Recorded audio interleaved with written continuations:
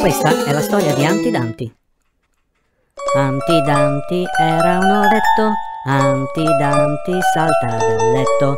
Tutti i soldati e i cavalli del re non possono sistemare il buon Anti perché...